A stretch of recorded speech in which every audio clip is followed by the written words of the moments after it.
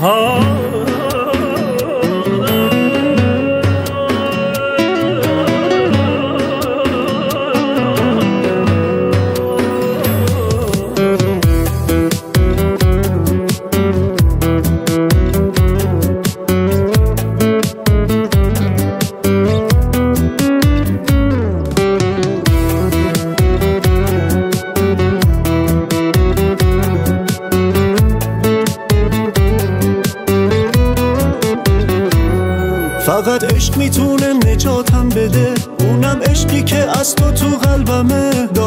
عاشقونه صدات می‌زنم نجاتم بده از تو اینم همه. دعا می‌کنم با دو دست حقیر. دلم لک زده واسه آغوش تو. چه بارون تندی تو چشم منه. چه احساس خوبی دارم پیش تو. چه احساس خوبی دارم پیش تو. دلم دست به دعاته. چشم همش براته. خدا به هم نگاه کن. امیدم به نگاته دلم دست به دعاته چشم همش براته خدا به هم نگاه کن امیدم به نگاته ز ایران تفقد نما ای خدا در آشوب و هر شهر و هر روستا. تو رحمت نما ای خدا و شبان. تو رحمت نما ای خدا و شبان.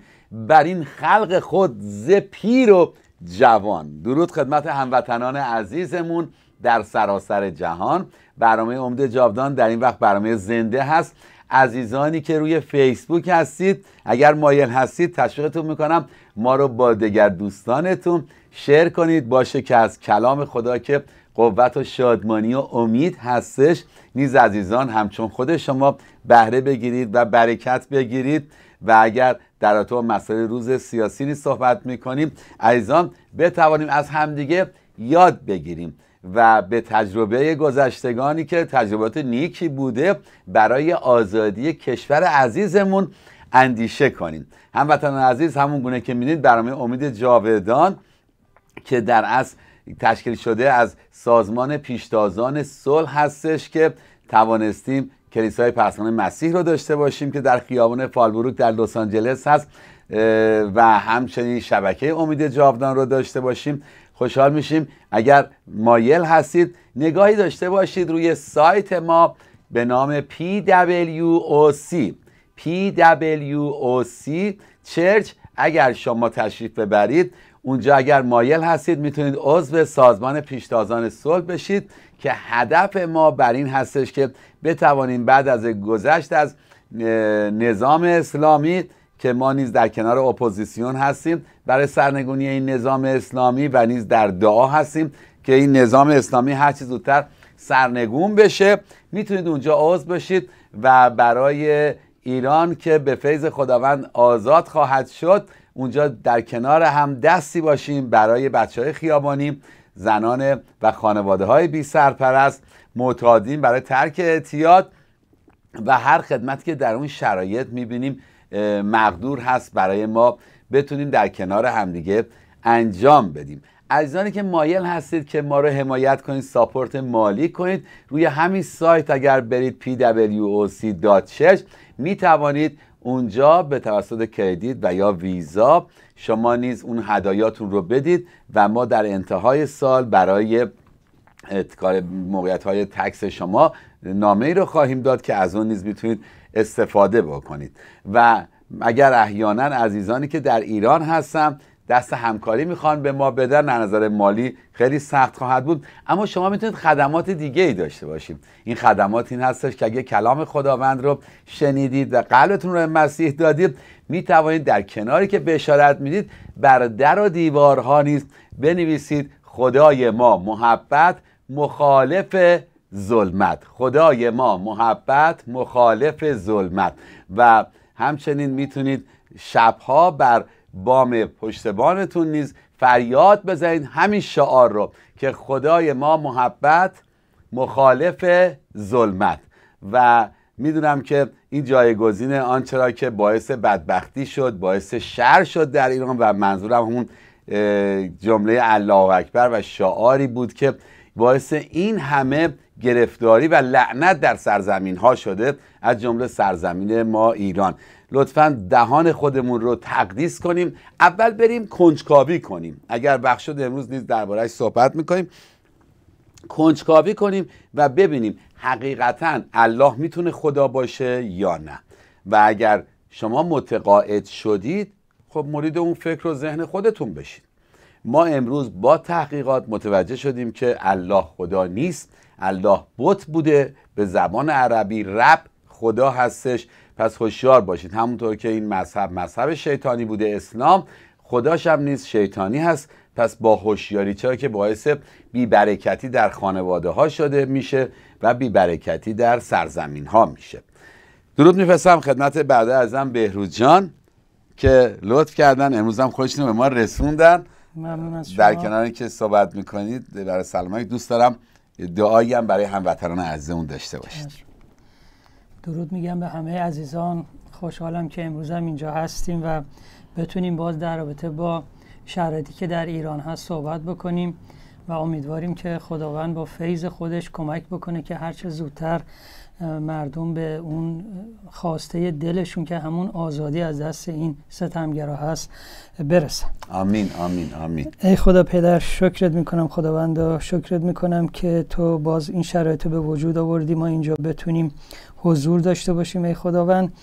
و بپردازیم به اون خواسته دل مردم. ای خداوند و می‌دونیم که تو توجه داری تو خواسته دل مردم رو می‌دونی می‌بینی و در جهت اینکه این آزادی و این سرنگونی این نظام ستمگر هرچه زودتر شکل بگیره حتما مردم خداوند تو حمایت می‌کنی حتما هدایت می‌کنی. رهبران اپوزیسیون افرادی که حقیقتا دلسوز مردم هستند به اونها امید میدی راهکار نشون میدی خداوندا و به هیچ وجه مایل نیستیم که در سرزمین ما هیچ جنگی صورت بگیره. امیدواریم که خداوندا این اتفاق نیفته و خود تو خداوند رهبری بکنیم سران کشور امریکا را که خب اونها نمی‌خوان درگیر جنگ بشن و حقیقتا این اتفاق نیفته ای خداوند خداوند می‌دونیم که الان سفره های مردم ایران علا رقم اینکه خیلی ها از نظر مالی هم در موقعیت خوبی هستن ولی شرایط داره به سمت این میره که مواد غذایی کلا نیست. و این همه به خاطر بی تدبیری سران نظام جمهوری هستش خداوندا. حقیقتا تنها چیزی که می‌تونیم از تو امروز ما بطلبیم خداوندا و این خواستمون رو در نام عیسی مسیح به حضورت بیاریم.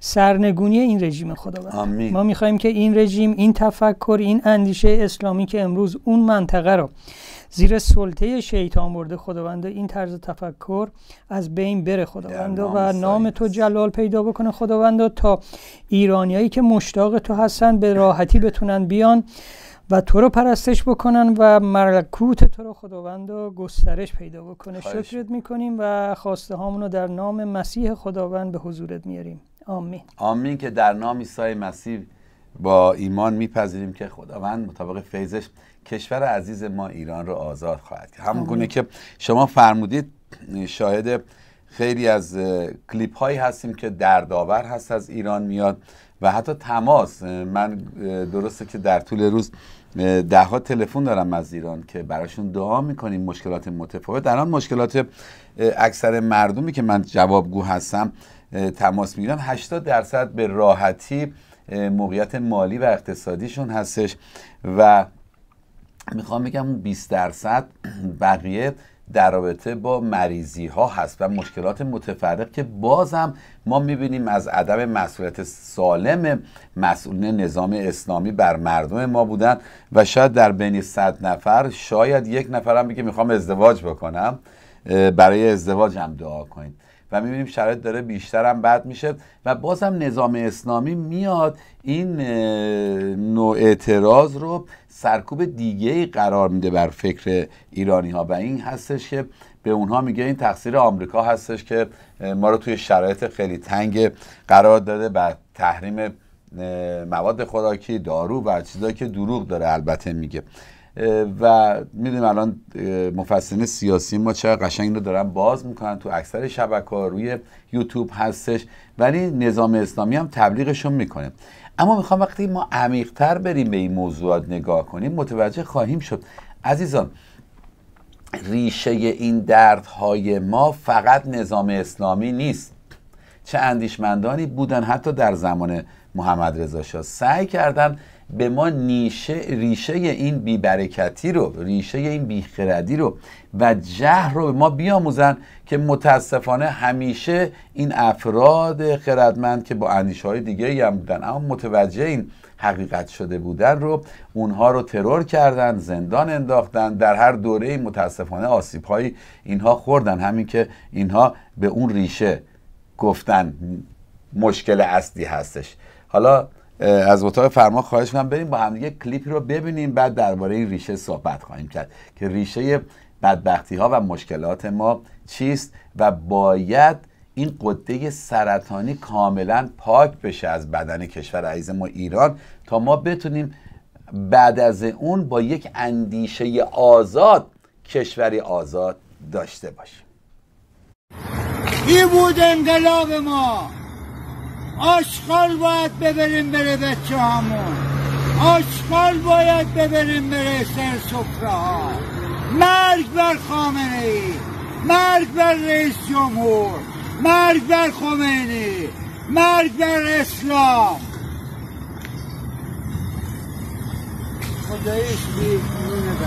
راست میگی ما هم نداریم.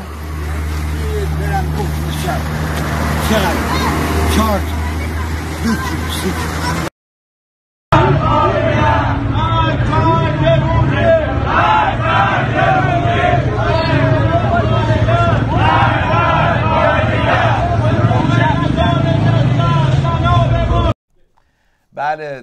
ما از این اعتراضات بسیار داریم در کلیپ ها و می‌دونم اکثر شما دیدید روی اینستاگرام هست دیگه.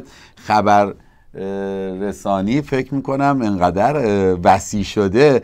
مجال نمیدن که شبکه ها بیان اخبار بگن. ما که دیگه هیچی که ما می‌خوایم یک کلیپی رو نشون بدیم. فکر کنم چندین بار مردم دیدن تا بعد ما دوباره اینجا نشون میدیم. هدف ما از نشان دادن این کلیپ ها این نیستش که یک برنامه داشته باشیم که بگیم شما رو سرگرم کنیم به مسائلی جمله مسائل سیاسی. بلکه می‌خوایم در رابطه با این موضوعات صحبت کنیم.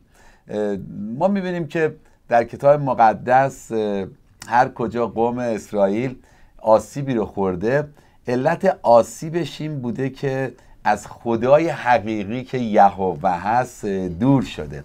و اون اندیشه اشتباه اونها رو به اهدافی اشتباه برده به تصمیماتی اشتباه برده و مدتها حتی چند نسل آسیب از اون اندیشه اشتباه خوردن.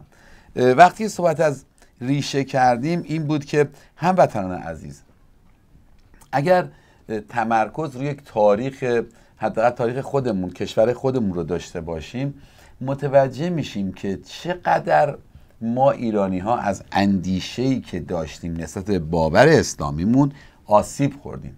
اگر تکنولوژی اومده بلا فاصله بودن معلمین اسلام به عنوان آخون آیت الله و و رساله نویس اینها اومدن اعلام کردن از این تکنولوژی از این دارو از این سیستم استفاده نکنید گناه هستش. بارها من رو اعلام کردم. حتی پدر من که بچه قوم بودش و متولد قوم بود میگه پدرش اون گذاشته بود مکتب خونه توی مسجد. و میگه دوستامو دیدم که چقدر لباسای زیبایی تو تنشون می‌کنن و میرن مدرسه و چقدر خوشحال و هپی هستن. ما وقتی می‌رفتیم مکتب خونه میگه فقط یادم بود که معلم و برای اینکه قرآن یادمون بده یه چوب بلندم داشت که اونایی هم که فرار می‌کنن راه دور بزنه. و ولی می‌رفتم میرم مدرسه اینا چقدر خوشحال هستن. دختر و پسر میرن مدرسه میان و میگه منم رفتم یواشکی. اسم خودم تو مدرسه نوشتم و مدتی بود می‌رفتم مدرسه و خیلی هم خوشحال بودم. اما میگه یه روز وقتی که اومدم پدر ایشون که پدر بزرگ من باشه میگه اومد تا منو دید از مدرسه اومدم بیرون یه دونه محکم زد تو گوش من و گفت اینجا چه کار می‌کنی؟ حاج آقا گفته تو چند وقت نمیری مسجد گفته بچت حرومزاده شده. دقیقا همین چیزی که پدر من به من گفت منم دارم میگم. آخون در اومده پدر من گفته بچت حرومزاده شده چون رفته مدرسه؟ ببین این اندیشه ها رو. و حتی خب من بزرگ شده قوم نیستم اما خیلی خاطرات از بزرگان خودمون شنیدیم. پدر بزرگ من تعریف می‌کرد می‌گفت وقتی که آب لوله کشی می‌خواست وارد قوم بشه آخونده آمدن گفتن نه چون تکنسیان های اینها از خارج اومدن و مسیحی هستن نجسن پس نباید دست بینه از اینا کسی استفاده کنه. میگه یه شب پدر بزرگ من می‌گفت من داشتم می‌رفتم سر زمین کشاورز بوده. برم به زمینم سر بزنم دیدم دارن تو خی کوچه ما دارن یباشکی چیزی می‌کنن. حواسشون هم هست. بعد رفته بود چیکار دارید می‌کنید؟ گنج که پیدا کردید گفتن نه داریم راه می‌کنیم که لوله ببریم خونه حاج آقا آخونده محله. گفت اون که گفته حرومه. گفته نه الان میگه من رفتم برای اون لوله ها دعا کردم.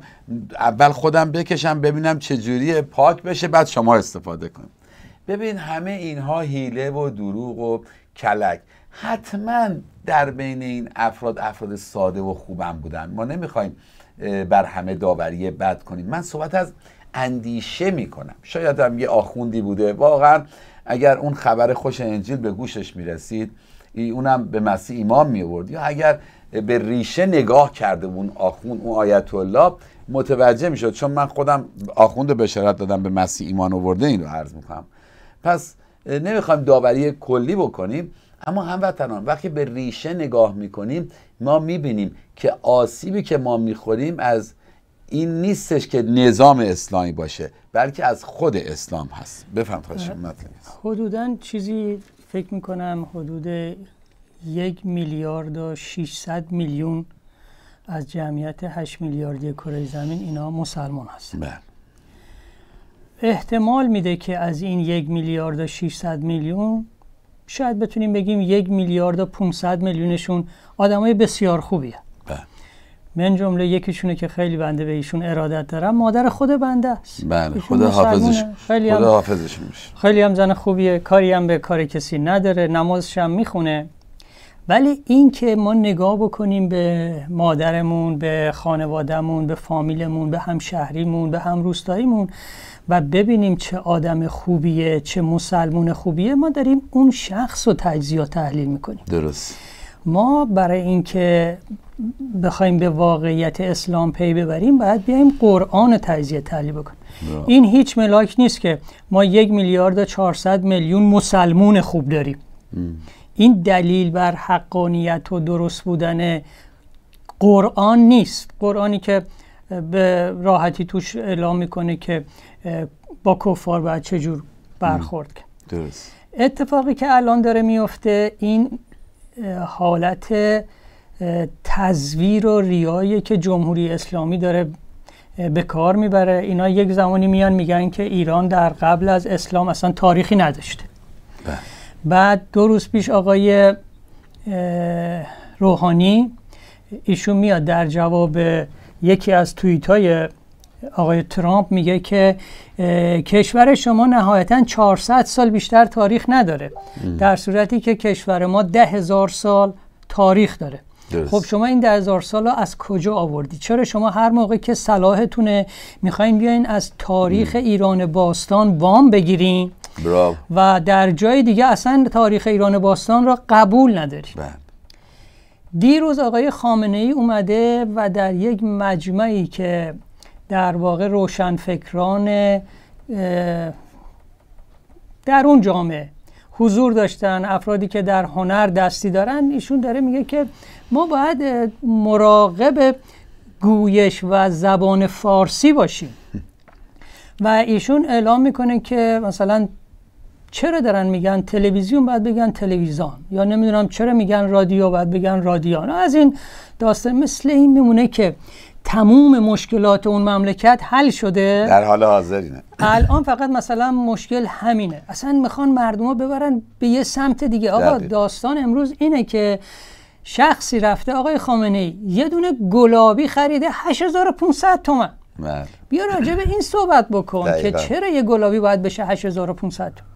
بعد اگه شما دلت برای زبان فارسی میسوزه شما دارین مردم رو تشویق می‌کنین که در روز 17 رکعت نماز بخونن به زبان عربی؟ بله. شما مردم رو تشویق می‌کنین که آقا قرآن بخونه خود چرا تشویق نمی‌کنین مردم رو که این قرآن رو به زبان فارسی بخونن؟ بله. خب اگه به زبان فارسی قرآن رو بخونن که متوجه میشن که دارن از چه چیز اشتباهی پیروی می‌کنن و ما باید مردم رو هوشیار بکنیم که مراقب این ترفندهای زیرکانه اینا نباشن. اینا فرزندان شیطان هستن عملکردشون عین شیطانه. دقیقا. دیروز اینا اومدن در تبریز نمی‌دونم شما در خبر رو دیدین یا نه یک کلیسایی که این کلیسا بیش از 100 سال قدمت داشته جزو آثار باستانی یا تاریخی بوده. کلیسای آشوری رو اینا به اونجا حمله کردن. نه مردم عادی بلکه خود هیئت دولت معموری رو فرستادن اونجا. بعضی قسمت ها رو تخریب کردن. صلیبی که بالای به اصطلاح مناره اون در بلندترین نقطه اونجا بوده اون صلیب رو پایین آوردن. و اونجا رو مصادره کردن درشو بستند و رفتن. خب این چجوری پس ما می‌خواین شما اسلام رو یه دین صلح طلب و یه برافو. دینی که بر مبنای نمی‌دونم دوستی یا رحمته می‌خواین معرفی بکنی؟ این چه دوستی یا رحمتی که شما داری چرا هر جایی که می‌خوان ما مسیحی ها ما مسیحی ها این وظیفه رو داریم که هر جا که باشه در زندان باشیم بشارت میدیم بله. در بیمارستان باشیم بشارت میدیم بله. هر جا که باشیم به ما گفته شده که بشارت بدیم درست. ولی گفته نشده که برای بشارت دادن خودمون یک دستمون هم شمشیر باشه. ما هیچ شمشیری در دستمون نداریم ما کلام نجات بخش خداوند در دست داریم آمین. و به ما گفته شده که هر جا که بشارت دادی و تو رو نپذیرفتند خاک کفش پا تو بتکون و برو. دقیقا. نه جزیه می‌گیری نه نمی‌دونم هیچی. به هر حال اینا در یه موقعیت خیلی خرابی هستن و دورانشون تموم شده اینا. آمین. هیچ فرصتی براشون نیست. آمین.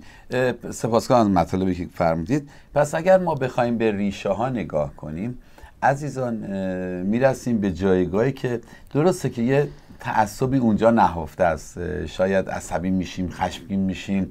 آقا چه کار دارید؟ بذارید نظام اسلامی عوض بشه. مگه ترکیه رو نگاه نمی‌کنید؟ مردمشون مسلمان شما ما می‌خوایم اینطوری بشیم. این برداشت صادلانه رو ما یه موقع تو فکرمون میاریم بدون اینکه یک جامعه شناسی عمیق کنیم مردم شناسی عمیق کنیم. آیا مردم ما مانند مردم ترکیه هستن؟ اگر بودن که رضا شاه حتما مثل آتاتورک این پیروزی ها رو داشت.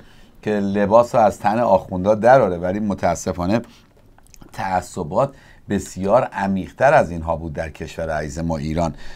و مردم ما به اسارت اون طرز تفکر آخوندها بیشتر از مردم ترکیه بودن که ما نتوانستیم توی اون آزادی و امنیت قرار بگیریم. حتی یه موقعی امیدوارم عزیزان خورده نگیرم. هستن خیلی از ایرانی ها الان مخالف آقای ترامپ هستن.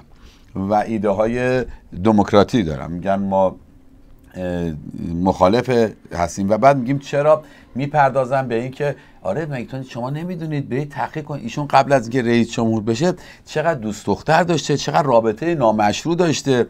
ببخشید ایشون یه بیزینسمن بوده ادعای پیغمبری هم نکرده آخوندم نبوده کشیشم نبوده خاخامم نبوده. ایشون یک بیزینسمن موفق بوده. حالا شده رئیس جمهور. و الان که رئیس جمهور هست ما می‌دونیم. برجام می‌دونن. عیزان اه، می‌دونن که اونایی که با ترامپ اه، رابطه نزدیک دارن و یا تعقیب می‌کنن زندگی سیاسی ایشون رو حتی می‌دونن که کشیش هایی هستن اطراف ایشون ایمانداران مسیحی هستن اطراف ایشون که الان دارن برایشون دعا می‌کنن. نمی‌دونم تا چقدر این شایعات می‌تونه درست باشه یا نباشه من تحقیقی نکردم. پس اما اینو می‌دونم تو هم وطن عزیزم که انقدر امروز ذره قوی گرفتی تو دستت مثل تلسکوپ گرفتی تو دستت نگاه می‌کنی این ذره‌بینشون این باید یکم بچرخونن توجهشون به آقای ترامپ نباشه. آقای ترامپ تعدادی از آمریکایی‌ها بهشون رأی دادن. ایشون اومده در این موقعیت ایستاده. قبلنش یه دونه دوست دختر داشته یا صد تا دوست دختر داشته باشه مسئله من نیست مسئله. خودش. ولی این ذره که شما میگین اینا گرفتن روی آقای ترامپ بعد چند تا دوست دختر داشته برش گردونن روی محمد. براو اصلا محمد- ادامه صحبت منو گفتی محمد ایشون نه انتخاب کسی بود. خودش اومد گفت من پیغمبر. پیغمبرم. و بعدن هم زن گرفت هم کنیز گرفت. هر کاری که واقعا جایز نیست یک انسان متمدن امروزی یا آن روزی انجام بده ایشون انجام داد. حالا شما اومدین نگاه می‌کنیم ببین آقای ترامپ چیکار نه میگه اصلا من مرسی شما ادامه عرایز منو گفتید. خواهش نگاه کنید ببخشید. اگر خواهش کنم اگر این ما حالا ذره یا تلسکوپ بگیریم به سمت محمد می‌بینیم محمد با یه دختر 6 ساله ازدواج کرده 7 ساله. که وقتی هم میره به پدرش میگه پدرش در میاد میگه محمد ما برادریم آیا جایزه که تو دختر برادر رو بگی میگه بابا ما در ایمان برادریم بده بیاد این دختر رو بله. یا ذره بینتون رو ببرین بچرخونین روی کتاب آقای خمینی که ایشون در بله. کتابش خیلی واضح داره اعلام می‌کنه که شما چجوری می‌تونی از یه شیرخواره من, من نمی‌تونم به زبان بیارم همه تو بله، می‌دونی بله. خب اینا هم همش باز ریشش به خود قرآن برمیگرده دیگه. ما وقتی به سوره نساء نگاه کنیم می‌بینیم متاسفانه اونجا زن هیچ ارزشی نداره و مانند اشیا هستش. اگر عزیزان یه چند سال بریم اونورتر همین عربستانی که خیلی از مسلمانان روی باورهای صادقانهشون متاسفانه فریب خوردن و می‌رفتن اونجا. اونجا زن رو اشیا می‌دونستن. عوض می‌خوام. به اشیا بعدا اومدن ببخشید اینو میگم حیوانش کردن. بعد از حیوان جدیدن انسانش مثل کرد نمی‌دونم جزء قانونشون شده زن انسان هست توی عربستان یا نه. اما می‌خوام بگم به ریشه های خورده نگاه کنیم. خواهش می‌کنم. یه خورده به ریشه ها نگاه کنیم. ما توی تبابتمون هم اینجوری هست. من یادم هست ما بچه که بودیم مادر من بهش می‌گفتن دکتر فاطمه. هر بار که مثلا ما سرمون درد می‌کردیم مادر ما یه چای نبات دستشه بنده خدا خدا روش یاد بود میمد به ما. حالا کار نیم خوبم می‌شدیم. یا دلمون درد می‌کرد یه چای نبات به ما می‌داد. تلقین خیلی بله. و متاسفانه من البته این زیرکی شیطانه بله. شیطان اومده یه شرایطی به وجود آورده شما دقت بکن ببین ایرانیا که در اسارت این دین هستن اینا اونایشون که در واقع نماز و روزه رو به عنوان اعمالی که باید انجام بدن انجام میدن یک مسلمان در روز 17 رکعت نماز می‌خونه بله. خب ایشون خب اولش که میگه بسم الله الرحمن الرحیم بعد میگه اشهد ان لا اله الا الله. بله. من شهادت میدم که به غیر از الله هیچ خدایی نیست. این اولین دروغ. بله. بعد میاد میگه اشهد ان محمدن رسول الله. من شهادت میدم که محمد رسول و فرستاده خداست. این دومین دروغ, دروغ. اینا در روز 17 بار دارن این دروغا رو اه، تکرار می‌کنن. و یک بار نمیان برن بررسی بکنن. منی که در روز 17 بار دارم میگم که الله تنها خداست. برم بررسی بکنم ببینم آیا واقعا همینطوره. منی که دارم در روز 17 بار میگم که محمد تنها فرستنده خداست. آیا واقعا همینطوره. اینا یعنی یه جور دنبال رویه کورکورانه است. متاسفم که مردم ایران ناآگاهانه دارن پیروی می‌کنن از افرادی که در 1400 سال پیش با شمشیر اومدن توی مملکت ما بله. کشتن زخمی کردن آسیب رسوندن تجاوز کردن. امروز اونا برای مردم ما شدن متر و این آسیب عزیزان این آسیب ادامه داره. یعنی اینو بدونیم. ما می‌خوایم نظام اسلامی عوض بشه صد درصد. اما اگر فکر ما عوض نشه هزاران نظام خوبم بیاد. مگه ما نمیگیم زمان محمد رضا شاه شرایط خوب بود؟ چه چیزی ما رو به این مصیبت و به این درد کشید همون اندیشه اسلامی بود.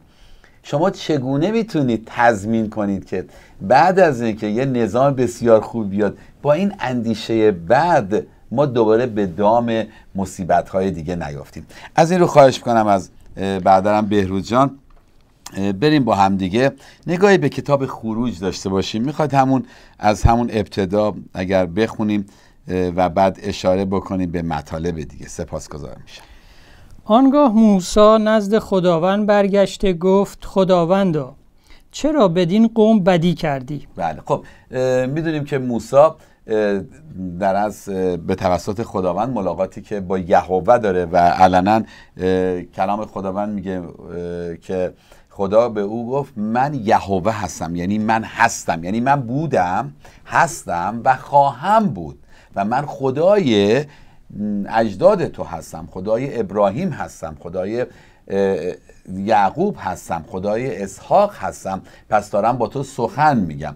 و میگه من آمدم من صدای قوم خودم رو شنیدم که در درد و رنج هستن. خب همونطور که ما امروز می‌بینیم که داریم دعا می‌کنیم اپوزیسیون فعال هستش اما نظام اسلامی شرایط سختتر می‌کنه. چه بسا همین الان نظام اسلامی براش امکان پذیر باشه که اون 200 میلیاردی که خامنه ای داره اونو بیاد پخش کنه. بیاد تو دسترس دولت قرار بده تا دولت بتونه دستگیری کنه اما این کارو نمی‌کنه. چرا؟ چون خامنه ای هم مثل همون فرعونه. حالا هزار برابر شد. آره با فرعون خیلی خوب بود. باز به فکر مردمش بود.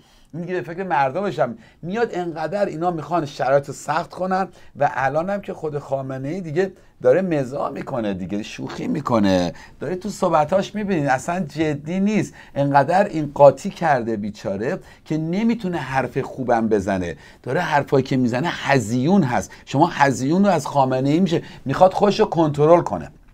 می‌خواد تحت کنترل باشه که بتونه حرفای خوب بزنه.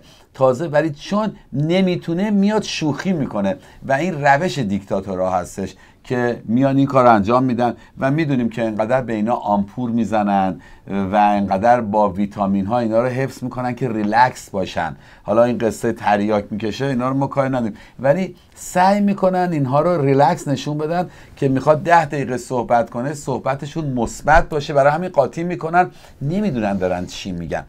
اینها مثلا دارن شرایط ایران رو بد می‌کنن که مردم از دست آمریکا ناراحت بشن.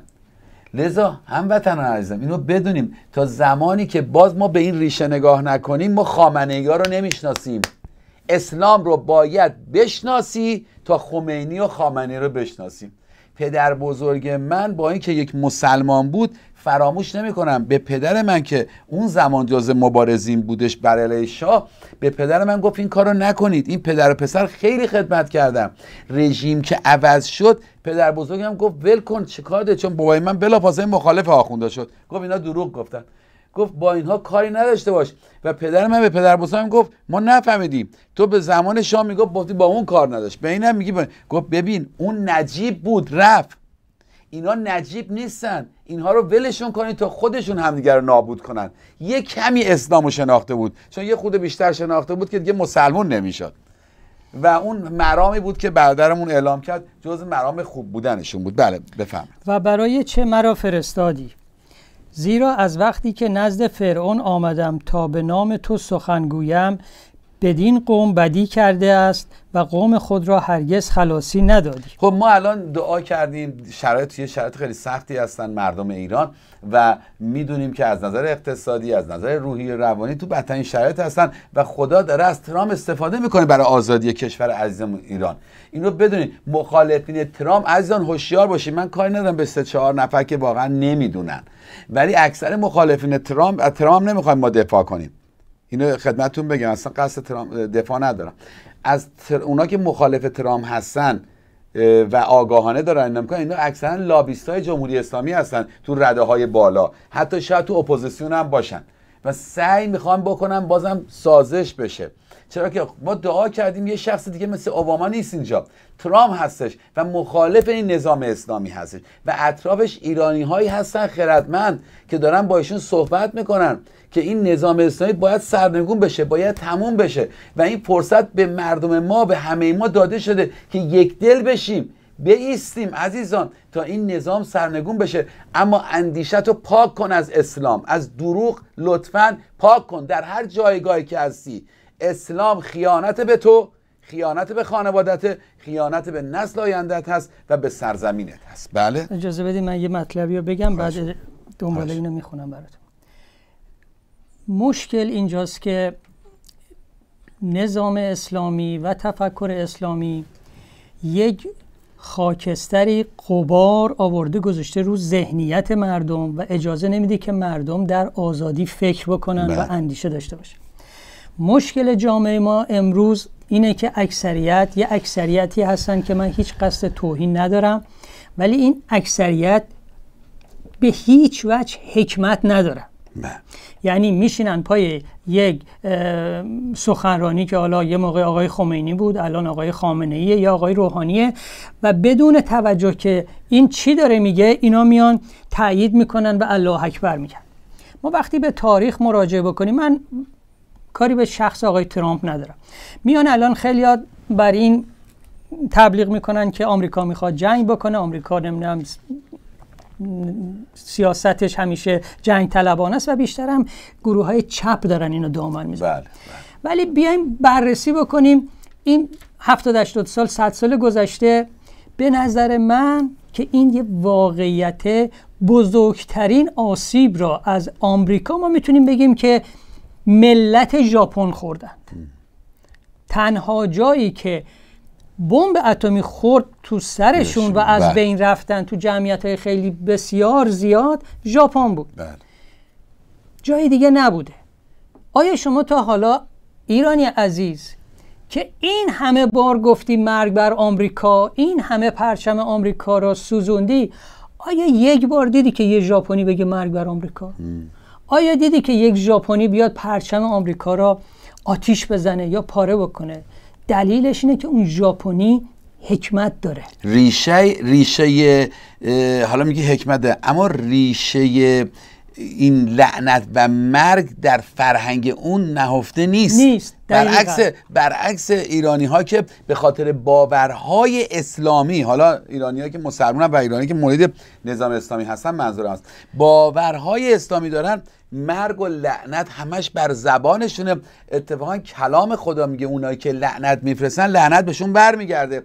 به طور خاص کلام خدا میگه کسی که افرادی که مردمی که به قوم اسرائیل لعنت میفرستن لعنت به اونها برمیگرده.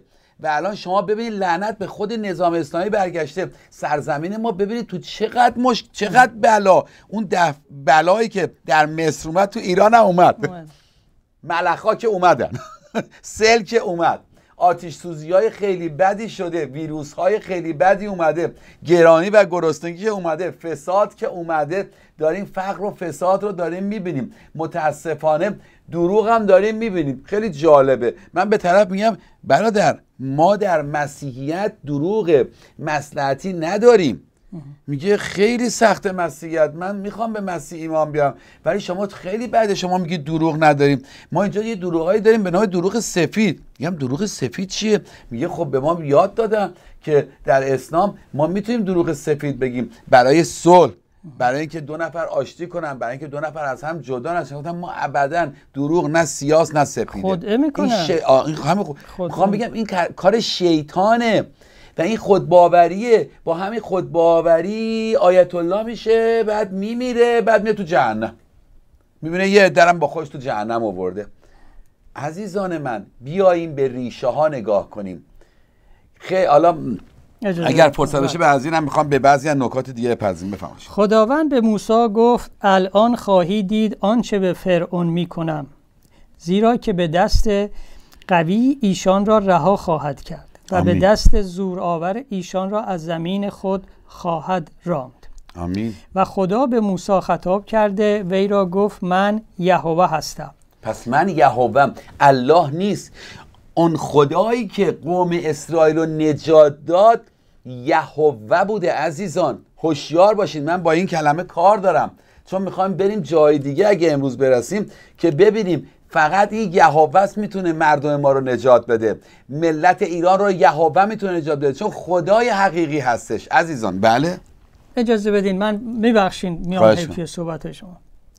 در رابطه با اینکه خداوند خودش رو به نام یهوه معرفی می‌کنه و از ناآگاهی افرادی میان میگن که ادیان ابراهیمی و دین اسلام هم می‌برن می‌ذارن جزو ادیان ابراهیمی. من می‌خوام اینجا با توجه به همین واژه یهوه یه مطلبی رو باز بکنم و اون اینه که اسلام به هیچ وجه جزو ادیان ابراهیمی نیست. بله،. ادیان ابراهیمی که در این کتاب ازشون نام برده شده تماما اینا خداوند را با نام یهوه دارن معرفی می‌کنن. تماما اسلام میاد چیکار می‌کنه؟ اسلام میاد خدا را معرفی می‌کنه با نام الله.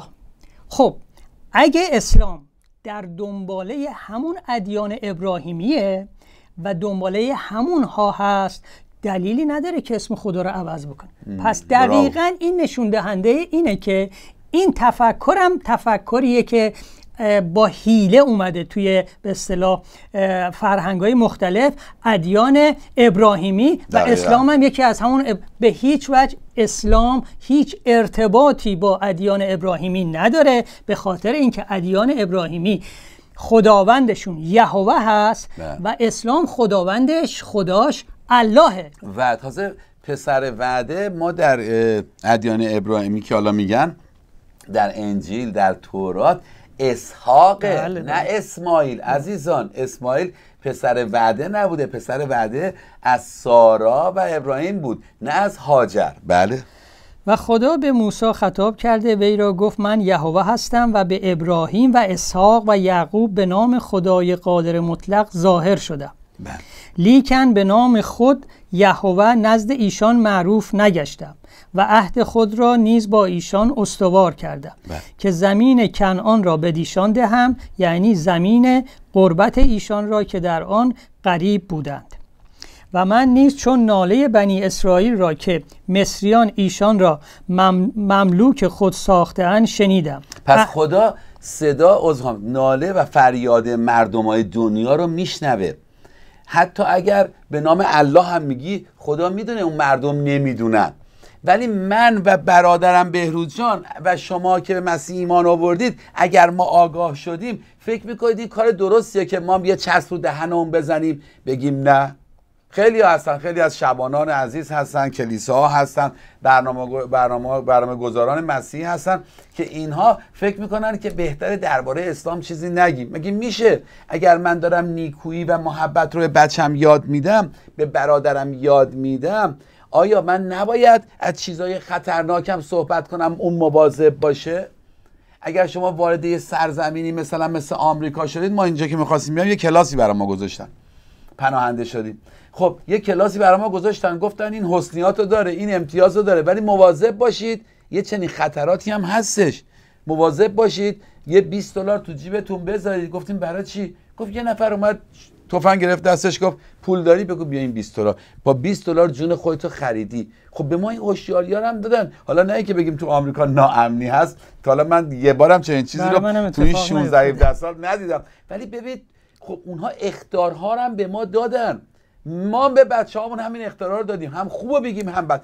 امروز ما داریم می‌خوایم به شما بگیم ریشه دردها و رنجای ما نظام اسلامی نیست. عزیزان ریشه باور اسلامی هست. ریشه اون خدایی هستش که به نام الله معرفی کردن. هموطنان و ما داریم الله الله می‌کنیم داریم لعنت میاریم وارد زندگی خودمون می‌کنیم. بله؟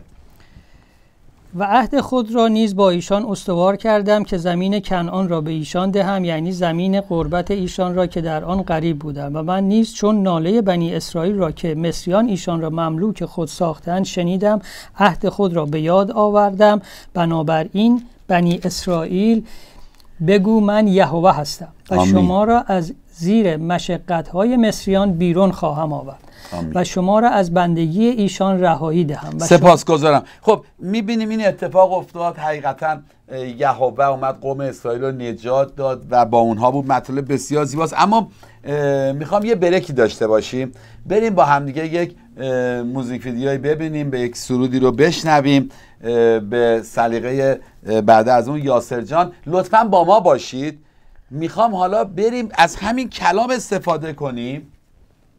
که ما ایرانی ها آیا باید یهوه رو بپرستیم و یا خدای دیگه ای رو؟ من از همین کتاب مقدس ما استفاده کنم امروز که ببینیم حقیقت کلام خدا نسبت به ایرانی ها چی داره میگه. بریم برمیگردیم در خدمتتون هستیم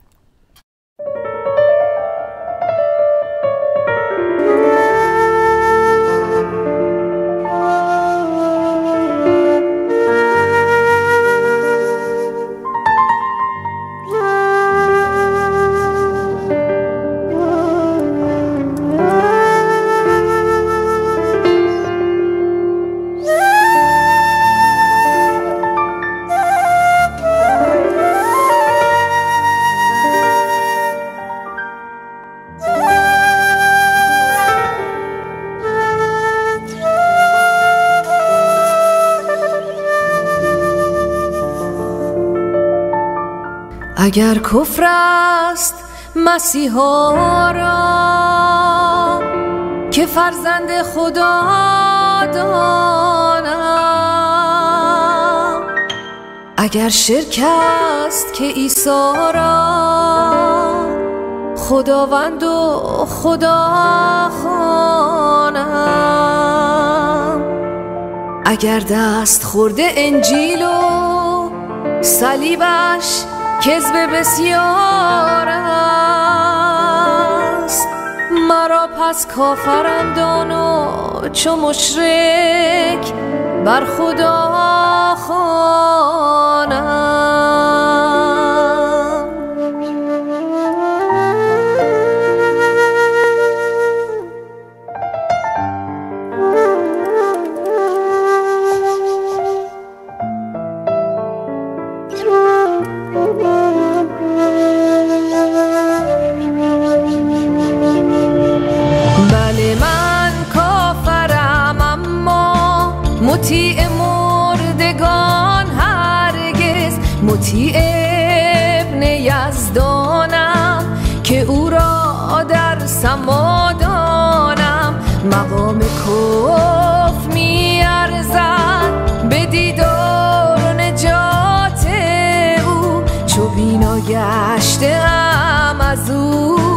مسیحا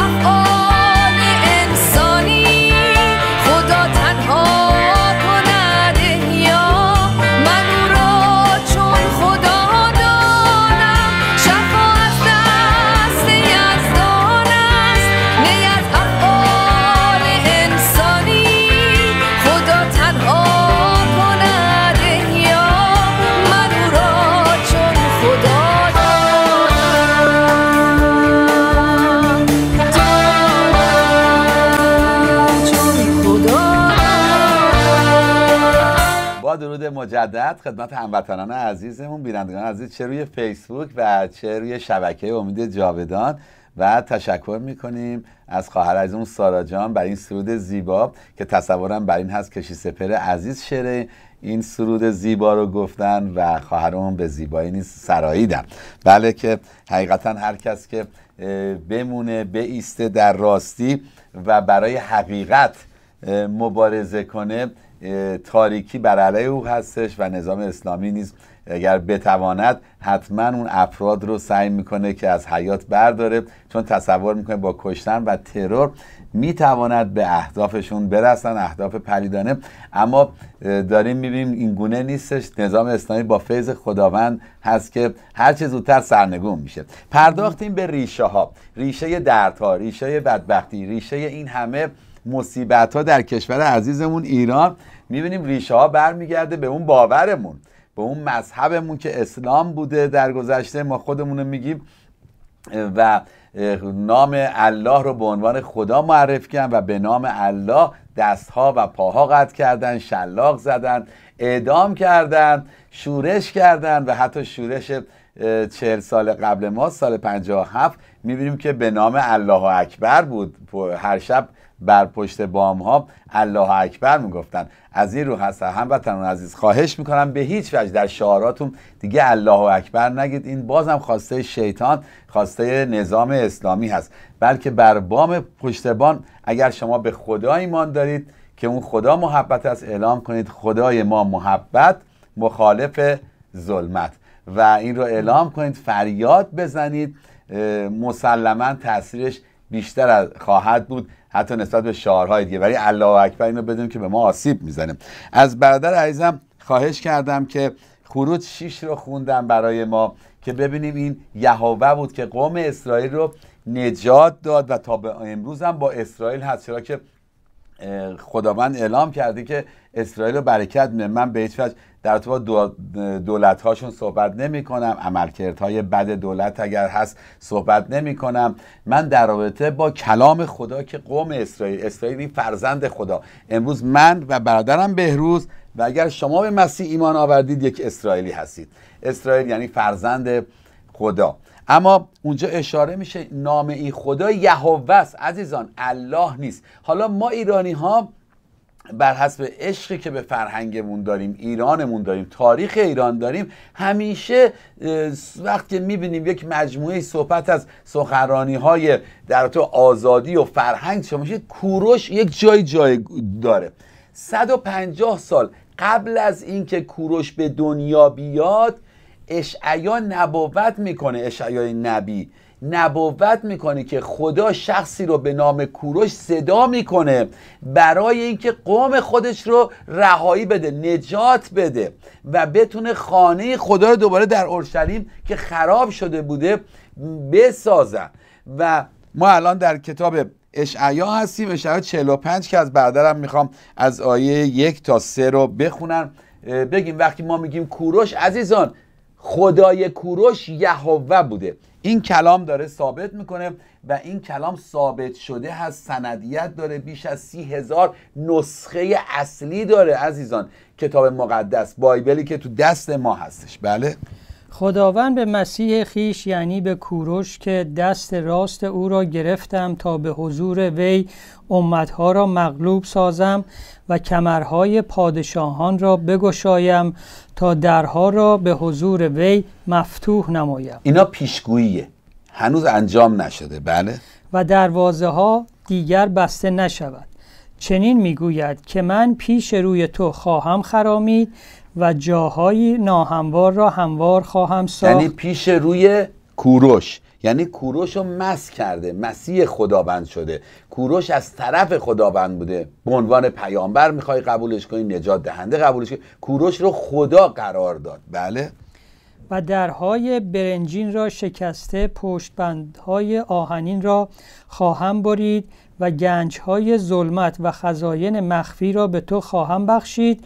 تا بدانی که من یهوه که تو را به اسمت خوانده ام خدای اسرائیل می باشم آمین. در اصل داره از ابتدا هم کوروش انتخاب کرده هم داره میگه کوروش پیروزی هایی که نصیب تو و ایران میشه از طرف من هست. من اینها رو برای تو آوردم. در کتاب دیگه به نام کتاب ازرا هستش ازرای نبی رو اگر لطف کنیم بریم با هم دیگه کتاب ازرا رو باز کنیم که باب یک از یک تا سه اونجا هم بخونیم خیلی خوب هست. می‌خواد یه آیه 13 هم بخونید لطفا. آره همون اشعیا 45 13 هم یه نگاهی بکنید سپاس گذارم من او را به عدالت برانگیختم و تمامی راههایش را راست خواهم ساخت. شهر مرا بنا کرده اسیرانم را آزاد خواهد نمود. یعنی کوروش یعنی هنوز کوروش که به دنیا نیامده یهوه داره درباره اون صحبت می‌کنه. ای ایرانی خدا دوست ای هموطن عزیزم که به دنبال حقیقت هستی این کلام رو بخون متوجه خواهی شد که خدای من و تو و خدای همه انسان ها روی این زمین نامی غیر از یهوه نیستش. درست نام های دیگه در کتاب مقدس هست در با نام های خاص خدا. اما عزیزان این رو بدونیم که کلام خدا اشاره می‌کنه. آنانی که به دنبال حقیقت هستن بدونن یهوه خدای حقیقی اونها هستش. بله. اسیرانم را آزاد خواهد نمود اما نه برای قیمت و نه برای هدیه. یهوه سبایوت این را می‌گوید. یعنی اون رسالت کوروش هستش. نه به خاطر قدرت و مقام و ثروت. بلکه رسالتی که خدا به اون داده. همون رسالتی که خدا امروز به ما داده. که ما درباره الله صحبت کنیم تا رسواش کنیم و یهوه رو صحبت کنیم نامش رو جلال بدیم. آمین. امروز رسالت ما این هستش. که در ایران نام یهوه جلال پیدا کنه و مردم رو بشناسن و از این بیبرکتی و از این مصیبت ها آزاد بشن. بله. پس حالا میریم کتاب ازرا رو. یه بار دیگه میگم کتاب ازرا داریم می‌خونیم که این اتفاق افتاد عزیزان. بله. و در سال اول کوروش پادشاه فارس تا کلام خداوند به زبان ارمیا کامل شود. بله. چون خود- در کتاب ارمیام نیست در این رابطه صحبت شده بوده و پیشگویی های شده بود داره اشاره به اون می‌کنه. بله. خداوند روح کوروش پادشاه فارس را برانگیخت تا در تمامی ممالک خود فرمانی نافذ کرد و آن را نیز مرغوم داشت و گفت کوروش پادشاه فارس چنین می‌فرماید یهوه خدای آسمان ها جمیع ممالک زمین را به من داده و مرا امر فرموده است که خانه‌ای برای وی در اورشلیم که در یهودا است بنا نمایم سپاس کنم خب آیه دو هستی؟ دو بر. آره. خب پس ببین خود کوروش هم ادعا نداره الان کوروش به دنیا آمده کلام خدا میگه روح چرا که این روح القدس هستش در است که کوروش رو در مسیر اراده خداوند می‌خونه تا آنچه را که اراده خدا است برای قوم اسرائیل و حتی برای ملت های دیگه نیز انجام بده. و ما افتخار می‌کنیم به کوروش داریم می‌بینیم سخنان کوروش هستش منشور کوروش هستش که در اصل یکی از ستونهای اصلی سازمان حقوق بشر شناخته شده. بنابراین اگر من و تو هموطن عزیزم به دنبال این هستیم که در سرزمین ما ظلمی نباشه ستمی نباشه نمی‌تونیم بگیم فقط نظام اسلامی. نظام اسلامی باید صد درصد سرنگون بشه و سرنگون خواهد شد. اما باید ریشه های اون نیز سرنگون بشه. یعنی ما فقط نمی‌تونیم بگیم ساختار. از بین بره زیر ساختار. زیر ساختار خراب می‌کنه. زیر ساختار نظام اسلامی خود اسلام هست. تحقیق کنید. نمیگیم به زورم بیاید. می‌خواید هر باوری داشته باشید. اینجا ما نیستیم که به شما بیاد. آره به به مسیح ایمان بیارید. ما مسیح رو انتخاب کردیم و بعد بعد از انتخاب اون یک افتخار شده برای ما. شما هم انتخاب کنید اگر خدا دوست هستید اگر به دنبال حقیقت هستید. اندیشه آزاد شد ولی اینو بدونید. نظام اسلامی عزیزان یه دفعه نیومده بشه بد. این نظام تقضیه شده از دنیای بد که اسلام هست و آسیب زده. از این باید ما خودمون رو آزاد کنیم. امیدوارم که همه اپوزیسیون به این جایگاه برسن. عزیزان تعصب رو بذارید کنار.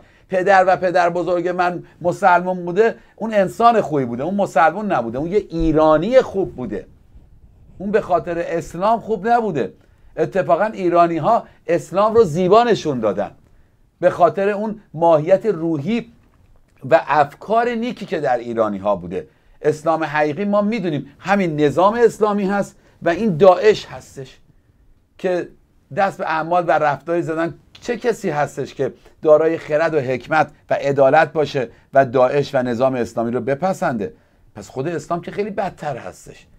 چرا؟ اون ریشه رو نمی‌خوای بکنی. از فکر دلت از توی خانوادت و بعد تحقیق کنید. خدای حقیقی رو یافت کنید. ما امروز خدای حقیقی رو مطابق این کلام خدا مطابق آنچه تجربه کردیم یهوه می‌دونیم که در مسیر چهار اصول اصول بسیار درست و حتی با منطق هم, هم قدم هست. این اصول این هست. محبت حکمت عدالت رحمت که ذات خداست. به توسط روح خودش روح القدس در ما می‌خواد عمل کنه. و ایرانی ها به دنبال این بودن. چرا شما هموطنان عزیز حتی به زرتشت افتخار می‌کنید پندار نیک گفتار نیک کردار نیک. چون شما می‌بینید که سخن از ذات خود خدای عشق و خدای محبت می‌کنه. پس چرا باید به دنبال اللهی بریم که فقط به دنبال این هست که بکش قطع کن دستشو زن رو کتک بزن جنگ جنگ همش جنگ اسلام همش جنگه. کجا سخن از صلح میگه؟ مگه اینکه مجبور بشه. دیروز در این رابطه ما صحبت کردیم. بله بفهمید پس کیست از شما از تمامی قوم؟ او که خدایش با وی باشد او به اورشلیم که در یهوداست برود و چه خانه کسی هست در بین شما هموطنان عزیز من؟ چه ایرانی آزادی خواهی هست در بین اپوزیسیون که به دنبال حقیقت هست به دنبال یهوه هست. این رو بدون پیروز میشه. اگه با فکر و تفکر الله داریم میریم بازم داریم اشتباه می‌زنیم. به target نمی‌زنیم. به هدف درست نمی‌زنیم. داره اعلام می‌کنه چه کسی است در بین شما ایرانی ها که به دنبال حقیقت و محبت و یهوه هستید این رو بدونید بله. برود و خانه یهوه را که خدای اسرائیل و خدای حقیقی است در اورشلیم بنا نماید. آمین. ممنون. مرسی. پس اینجا ما میریم کتاب ازرا خب اگر نگاه کنیم ما در کلام خداوند اردشیر رو داریم که اعلام می‌کنه که الان وقت نیست به نوعی نام یهوه رو اعلام می‌کنه. ما در کتاب استر داریم خشایارشا رو داریم که خشایارشا نیز اعلام می‌کنه که خدای حقیقی یهوه هستش. ما در کتاب دانیال داریم داریوش اعلام می‌کنه. وقت از اینکه می‌بینه خدا چه حکمتی به دانیال داده و دانیال چقدر انسان سالمی هستش و این باورش نگاه می‌کنه. نگاه می‌کنه باور اون از یهوه است. و اعلام می‌کنه که تمام جوامع تمام اون کشورهایی که تحت کنترل ایران و دار کشور در از دولت داریوش بوده در اون زمان میباید یهوه رو بپرستن و نباید بهش بی به اون به هیچ وجه بی احترامی به یهوه بشه. پس تو هموطن عزیزم اگر امروز به دنبال حقیقت به دنبال آزادی هستی بیایم قدم درست برداریم. قدم درست این هست. اول باید من آزاد بشم. بعد ایران آزاد میشه من آزاد بشم. خانوادم آزاد بشه. خلق خدا آزاد بشه. کشور ما آزاد خواهد شد. تا مبادا گروه های دیگه سازمان های دیگه افراد دیگه یا فردهای دیگه با باور اسلامی دوباره می‌خوان رخنه کنن به کشور ما. ما امروز جنگمون فقط با این چهل سال نیست 1400 ساله که این نظام اسلامی حکومت کرده بر ایران. و چون نتوانستیم از این فکر پوسیده اسلام آزاد بشیم امروز می‌بینیم که این چهل سال کاملا حاکم شدن. برای آزادی کشور عزیزمون به فکر آزادی خودت باش از این پدیده زشت شیطانی به نام اسلام. با سپاس از بعد ازم بهروز جان. ممنونم از شما. البته خوشم یه مطلبی هست بفرمایید. نه. و سپاس از بعد ازم یاسر جان که کارگردانی این برنامه دارن سپاس گذار هستم از تمام شما عزیزانی که تا این وقت با ما بودید. از خداوند می‌خوام که خداوند مطابق فیضش شما عزیزان رو برکت بده. به عشق به محبت به آرامش و حکمت. امیدوارم کسی از دست ما نرنجیده باشه. صحبت های ما باعث تلخی هیچ مسلمانی نشه. امروز خدمت ما برای مسلمانان هست. مسلمانان رو دوست داریم و دوست داریم که واقعا آنچه که ما چشیدیم نسبت به عشق محبت از کلام خدا شما عزیزان بچشید. و خواهش می‌کنم مسلمانان عزیز تحقیق کنید. تحقیق کنید. من می‌دونم که با اون قلب قشنگتون خدا به شما برکت نجات رو خواهد داد. فیض خداوند پیوسته با شما عزیزان باشد و بماند تا ابد آمین. آمین.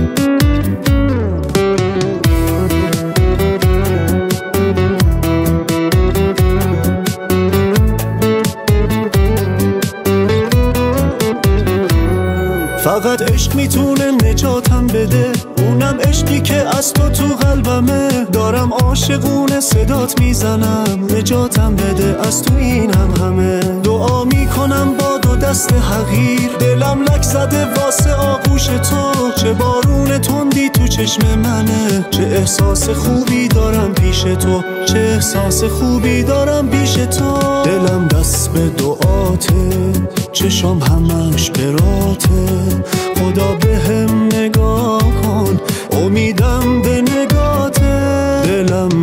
به دعاته. چشم همش براته خدا به هم نگاه کن. امیدم به نگاته